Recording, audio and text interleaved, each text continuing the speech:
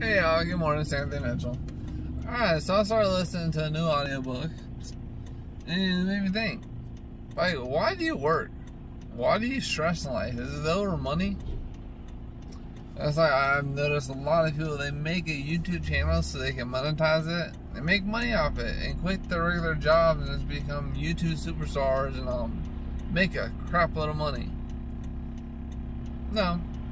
I just like talking and seeing myself in camera.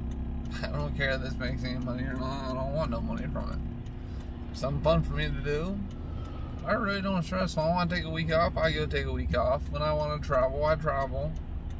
No, I'm not financially independent yet. I'm not financially free. I don't have six figures in my bank account. But I have freedom. I can choose to work if I want to or if I don't.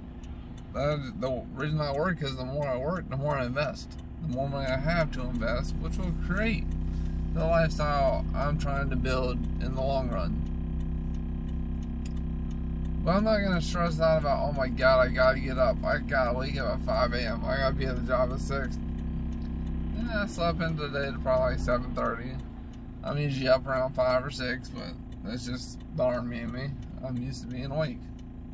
I'm a morning person.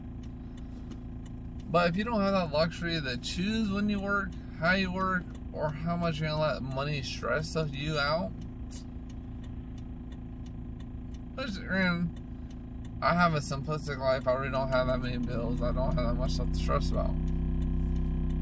So my situation is different than a lot of people's, but it's possible for everybody, y'all put yourself in a predicament or a situation where you control your time, you control your freedom, you control your money. Alright, that's it for today. Subscribe to my channel. Talk to y'all later.